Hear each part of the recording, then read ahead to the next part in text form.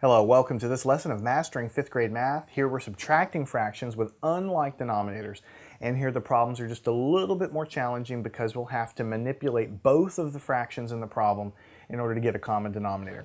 So let's go ahead and do that. And you'll see the parallels that we have with the adding subtractions uh, that we did uh, before. So what we're going to have then is, what if we have the fraction 5 sixths, and we're subtracting from it the fraction 1 fourth. We want to subtract these guys, but we see right away that we do not have a common denominator. We have a 6 and we have a 4. Now, the next thing we look at is, hey, can we transform one of these fractions, for instance this one, to put a 6 on the bottom of it? Well, I can't multiply 4 times anything to give me 6, so I can't really do that. I also can't just transform this fraction to make it match this one because I can't multiply 6 by anything to give me 4. So the first thing you do is always try to do the simple thing. See if you can just change one of those fractions to give you the common denominator of the other one. Right? But we can't do that in this case because we, we've chosen these denominators so that you can't just do it by changing one of those fractions. So then we start looking for what would be a good common denominator between these two fractions. We clearly need to transform um, these fractions, but what should we use as a common denominator? Now it's a little bit of technique here.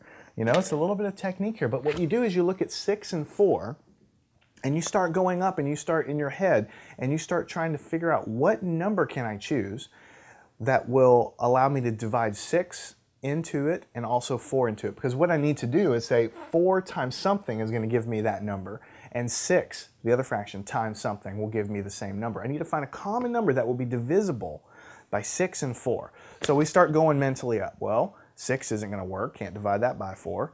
8's not going to work. Can't divide that by 6. Okay, then you go to 10. And you just kind of mentally go up in your head. What do you think would be divisible by 6 and 4? Eventually, I'm going to get to 12. 12 can be divided by 6, and 12 can also be divided by 4.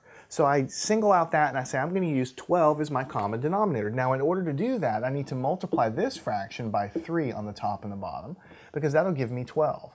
And down here, I will have 3 twelfths for this fraction. 1 times 3 is 3, 4 times 3 is 12. All right?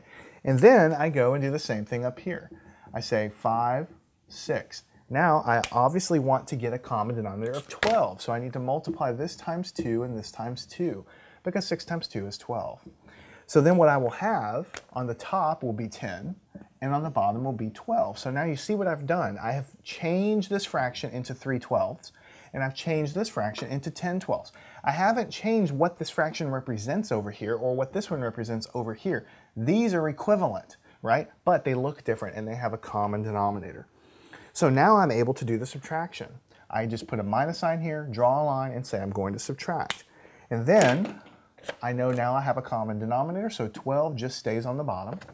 And on the top, 10 minus 3 is going to give me 7. So the answer is 7 twelfths. I always try to see if I can simplify this any further. I can't divide top and bottom by anything to simplify this anymore, so 7 twelfths is the answer.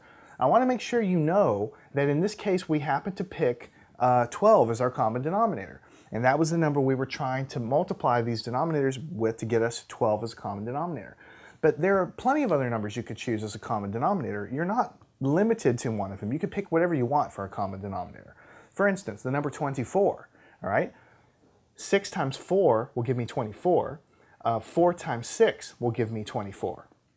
So I could have transformed those fractions so that I had a 24 on the bottom and a 24 on the bottom up there. And if I had done that, then I would subtract it. I would be getting a different answer here, but then I would be able to simplify